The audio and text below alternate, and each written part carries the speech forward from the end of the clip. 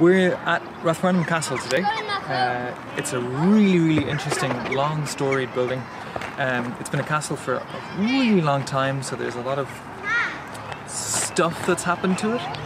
Um, and so we did the tour. The tour is amazing, really worth doing, as always, apparently. And there's just too much to cover, so hopefully we can make a small video that will make you interested in going here because it's so worth it, um, even just for the grants.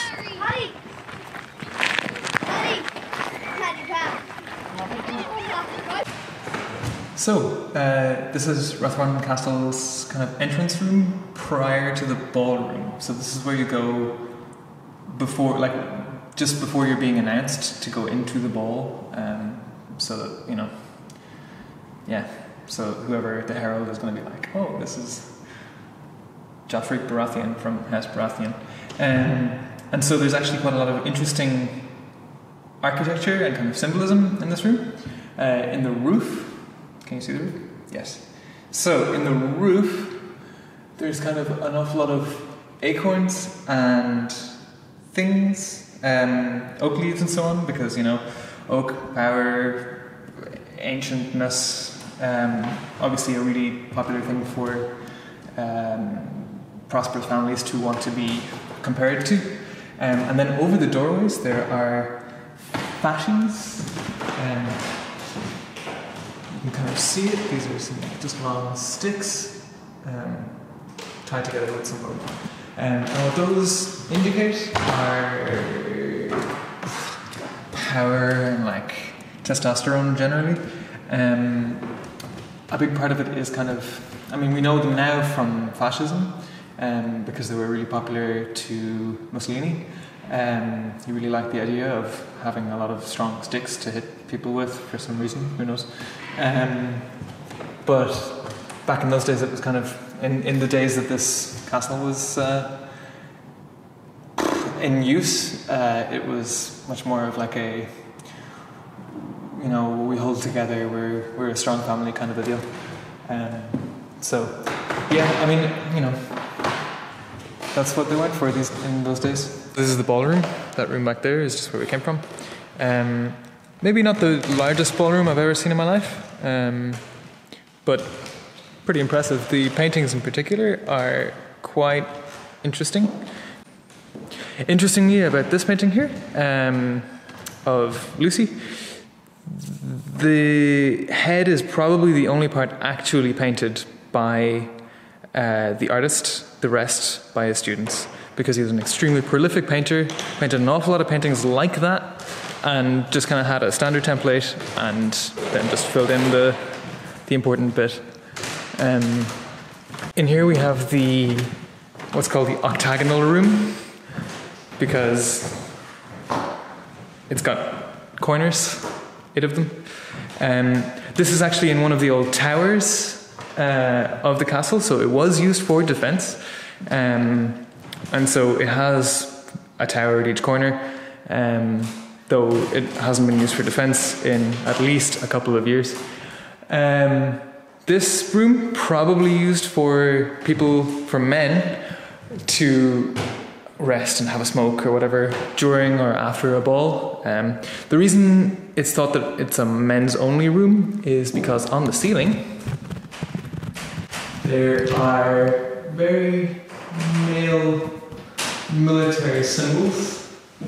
Um, basically, the ceiling is made of testosterone. Um, and so it was probably sort of, yeah, only men. So the ballroom here, uh, this is just sort of the end window, and these are the columns. They are not made of stone.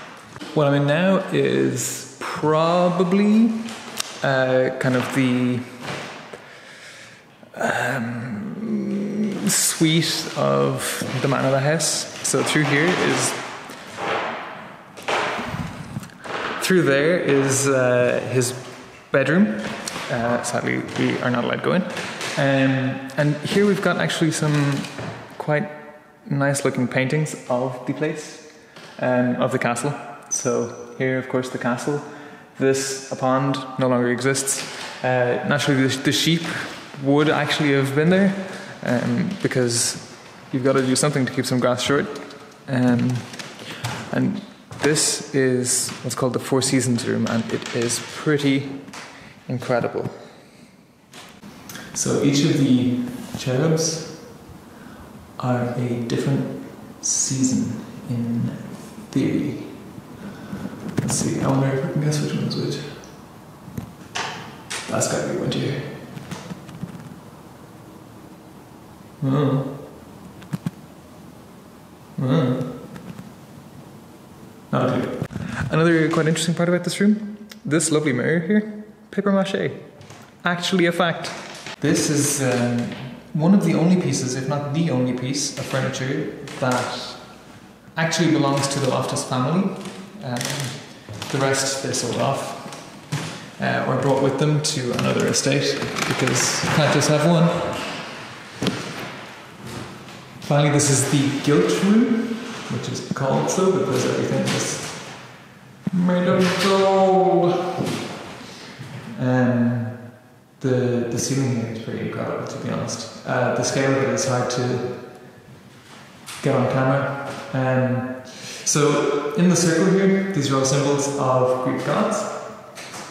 And for instance, this here is going to be Ares, God of War, and something like Mars if you were more Roman than Greek.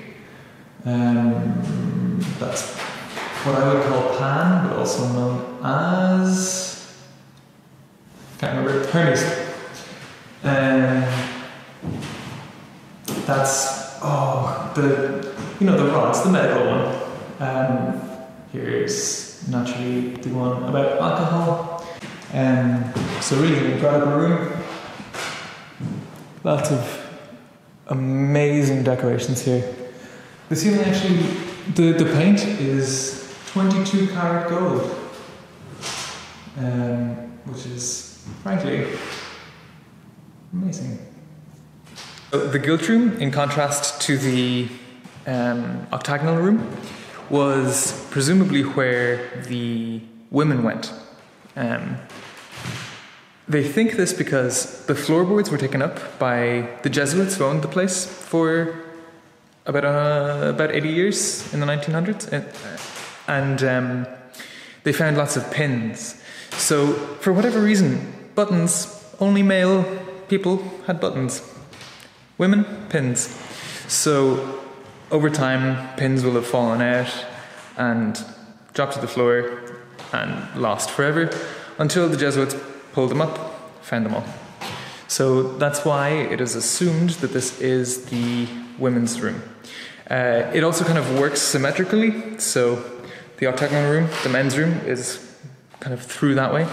It's really difficult to show that on camera, um, but they're opposite corners of the ballroom. They really cared a lot about architecture um, when this when the interior of this house was put together. So two architects were actually drafted to do it. Uh, one who really cared a lot about Roman architecture, and one who cared a lot about Greek architecture. Um, so when you walk through, you can actually see the different styles quite easily. Um, and one thing that's also really interesting is they loved symmetry. Symmetry was really important. So here we are in the ballroom, and so we have one door, two doors, three doors, four doors. But that door opens onto a wall. Doesn't actually work. There's nothing through there. Uh, it's just to make the room more symmetrical. One of the interesting things about this place, the corner walls are at a really weird skew. Um, and that was essentially because as the building was used for defense, it was an easy way to get more of a view around the surroundings.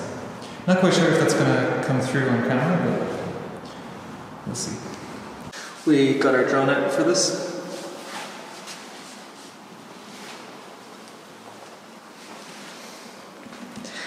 So this here is the castle, as you see it today.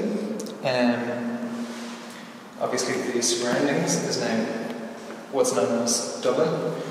Um, but this is what it used to look like back in the day. And this is a sizable segment of all the land that Loftus has owned, but by far not all. So the castle here. This is a really difficult angle. So the castle. You can kind of see the four towers on, on each corner. So those are used for defense, and it might be easy to see the skew that they are at in order to get more visibility. Also, the reverb in this particular room is extremely strong. This gate here is known as the Gate of Ely. Uh, it's a triumphal gate. Um, it was built when they when the Loftuses rebought the castle and it's the actual front entrance. And all the way back there is the castle itself. So you have to go a really long way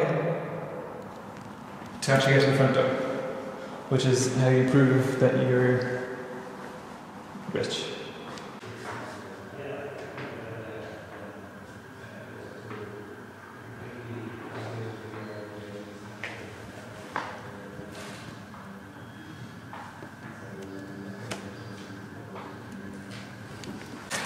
That was Rathfarnham Castle. I hope you enjoyed it. Um, like we said at the start, really hard to get everything into a video, so do come down here and check it out if you can. Um, absolutely worth it. Also, they have a cafe and a playground. and a playground. You are a, a adult, yeah. Ah, or if you're a child, actually, yeah. yeah. Um, yeah. What was your favourite part of it? Um, the mirror made out of paper mache. I suddenly Yeah. have huge ambitions in my arts and crafts.